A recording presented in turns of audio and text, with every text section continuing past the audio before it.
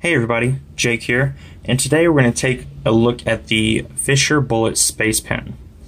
Um, this is a little different than my normal reviews because this is actually a ballpoint pen.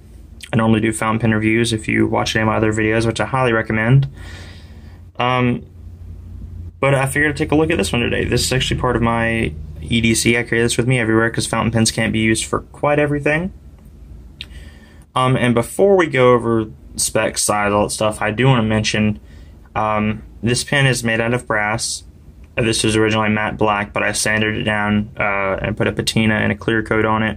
So if you're wondering why it's kind of like that dark blue brassy color, um, that that's just something that I wanted to end up doing with the pen. So um, you can't purchase this color, but you can certainly make it at home. And um, if you guys are curious about that, you, you may be able to look it up. Um, if not, feel free to leave a comment or send me a message, and I'll be more than happy to help you out with that. Um, so let's go ahead and jump right into it. So first up, just some specs. The length closed is going to be 3.75 inches, uh, 9.53 centimeters. Length open is going to be 5.25 inches, um, 13.34 centimeters and the weight is going to be an ounce or 28 grams. So let me try to uncap it here in frame. So this is already a fairly small pen. Um, but when you uncap it, that's what you got. And you post it, and it becomes a usable length. Let's go and do some size comparisons. So while it's closed, we'll go ahead and bring out um, a similar portable fountain pen. Um,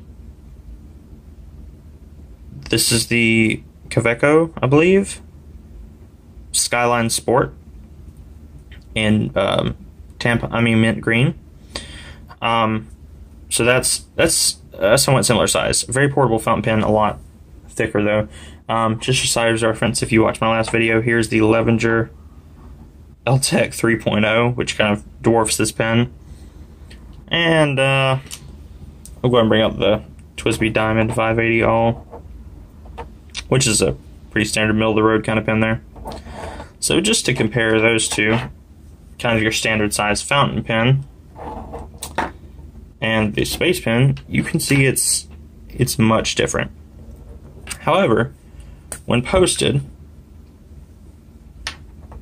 slightly different story. It becomes a very usable length. Um, you can see it's almost as long as the TWSBI, with it uncapped, of course. But this is a very nice pen. Um, for portability, if you just need something tough and durable that you can have in your pocket, doesn't take up a lot of space, doesn't weigh a lot, this is a very good route to go. So let's go ahead and jump into the stuff I like.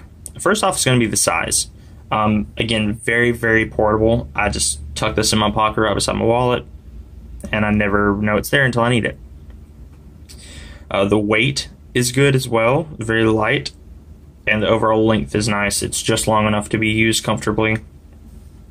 And if you really, really have to, you can, you know, do like a one of those sad, broken, overused pencil kind of situations and really bear down on it, and you can get writing done. But I, I highly recommend posting it. But the size and weight are fantastic on this pen. Um, main reason for buying it actually, because I don't normally use ballpoints, but this has come in handy a lot in places that fountain pens can't be used due to paper quality or, you know, whatever. Um, next up's the reliability. This thing I haven't run into any writing issues with it. Um, so that's that's really nice. I haven't run into any problems with it at all actually. And it does use a pressurized um, space pen Fisher cartridge or whatever.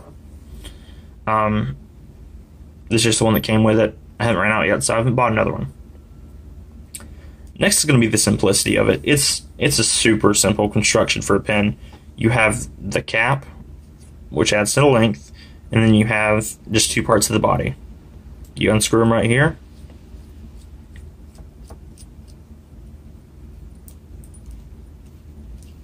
really long section of threads there. Let me see if I can get that into focus. Apologize for the shaking. Very long section of threads there. And then you just have your, your refill, which is just a, like I said, just a Fisher refill. And there's a little spring in there, but that's it.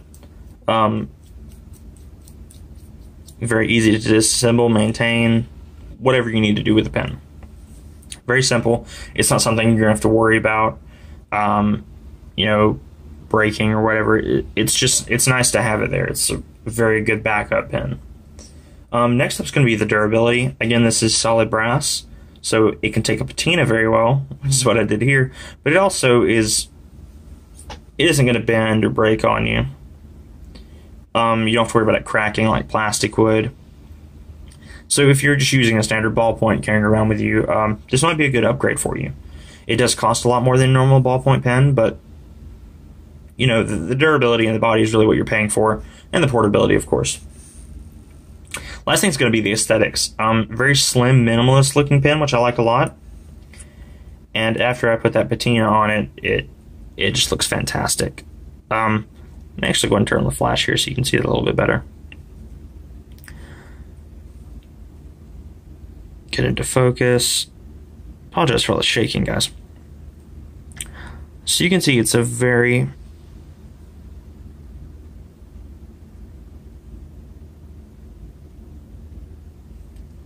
kind of odd looking pen um, now that I've put the patina on it. It has a nice mixture of like this dark blue color and um, the brass where I just sanded it down a little bit. It looks really cool. I like it a lot. Um, and you can also do this with um, Pilot Metropolitans, except for the plastic band in the middle, which I harped on pretty bad. Um, you can do something very similar to this, and people do all kind of crazy stuff with the colors. You can you can repaint it if you want to, but a lot of people put a patina on it. So I figure why not do the same thing with this pen. Okay, on to the neutral because everything can't always be good. So the stuff I'm kind of neutral towards. Um, I don't like it, dislike it, but the price. Um, I picked this up at my local office supply store for like 16 $18, something like that, which is a lot for a ballpoint. But I was bored and um, that's what happens when you go into pen stores and you have a problem. So the price is a little bit high on this. Um, you can get this off Amazon, I imagine, quite a bit cheaper. They come up on Massdrop fairly consistently. Um, for like you can get like a two pack for thirty dollars or whatever, but they're probably going to run you in between ten and twenty bucks. And it's it's okay. I I just have a little bit of a problem with that, and that's the fact that this is not a fountain pen, and I don't like paying that much for ballpoints because I just don't use them that much, except for this one. So this is an exception to the rule a little bit. Um, I just think they could have cut down the price a little bit, but that's just me. And the refills are proprietary, and that's another thing on the neutral list. It's just, it's not great. Of course, it's too small to use like your G2 rollerball refill, which would be fantastic. That's a really good um, refill. But, you know, it writes fairly well, which we'll get to in a bit as well. But it's just proprietary. So, and onto the dislike list. There's actually nothing that I dislike about this pen. Um, it served me very, very well. It's very durable. Um, if you can overlook the price and the proprietary refills, and you're looking for something in this market, this is a no-brainer. I, I highly recommend this. They have in a ton of different finishes with texturized patterns. They have it silver, matte black, shiny black, like a burnt titanium looking color. It's not burnt titanium, but um, I think they have a bunch of anodized finishes as well, or painted, whatever they end up doing with it.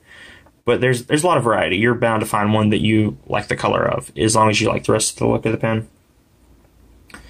Okay, we're going to keep this short and sweet. Go ahead and jump into a writing sample here. Um, again, this is just the refill that came with it. Uh, I believe it's a medium or whatever it is.